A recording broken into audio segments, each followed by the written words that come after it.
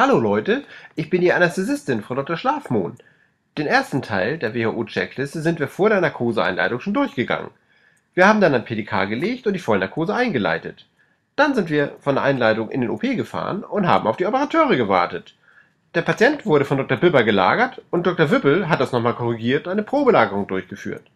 Jetzt sind die Operateure gewaschen und alles ist bereit zum Schnitt. Der richtige Zeitpunkt also, um das Team Timeout durchzuführen. Das macht bei uns die Anästhesistin, also ich. Okay, Team. Seid ihr alle bereit für das Abarbeiten der Timeout-Checkliste? Ja, wir sind bereit. Oh, es ist schon halb zehn. Schnitt. Warten Sie, Dr. Wippel. Wir müssen doch erst das Timeout zusammen machen und die Checkliste durchgehen. Ja, dann mal zu. Okay, Leute. Das ist die erste Operation heute. Und wir haben einen neuen Springer. Also sollten wir uns erstmal einander vorstellen. Ich bin Frau Schlafmond, die Anästhesistin. Günther Güdel, Anästhesiepfleger.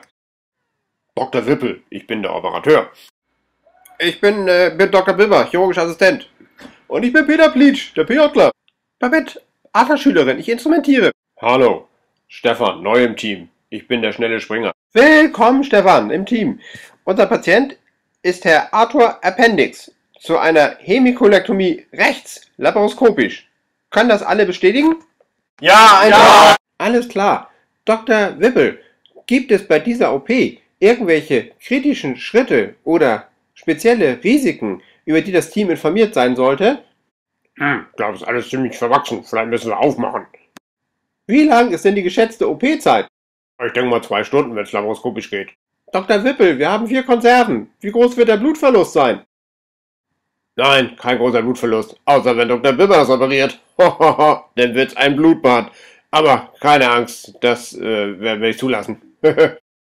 Ah, köstlich, Dr. Wippel. Aber nun zu unserem Patienten.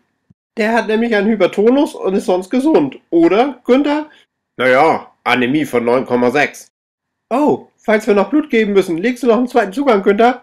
Kein Problem. Ich lege noch ein großes Rohr auf dem Handrücken und mache einen Bedside-Test. Alles klar. Babette, wie sieht's aus mit Sterilität von Instrumenten und Implantaten?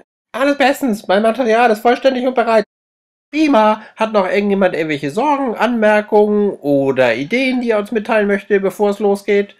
Ja, Dr. Wippel, wie wahrscheinlich ist das denn, dass wir umsteigen müssen? Soll ich mir die Siebe schon mal herholen lassen? Ja, gute Idee. Das kann gut sein, dass wir umsteigen müssen bei dem verwachsenen Bauch. Günther, hast du die Antibiotika gegeben? Na klaro. 500 Milligramm äh, Klont und 2 Gramm Ceftriaxon, genau wie es in der Ablaufsteuerung stand. Prima. Und Thromboseprophylaxe, sind die Wadenpuppen an? Das kann ich bestätigen. Das äh, vibriert die ganze Zeit an meinem Oberschenkel. Die sind an.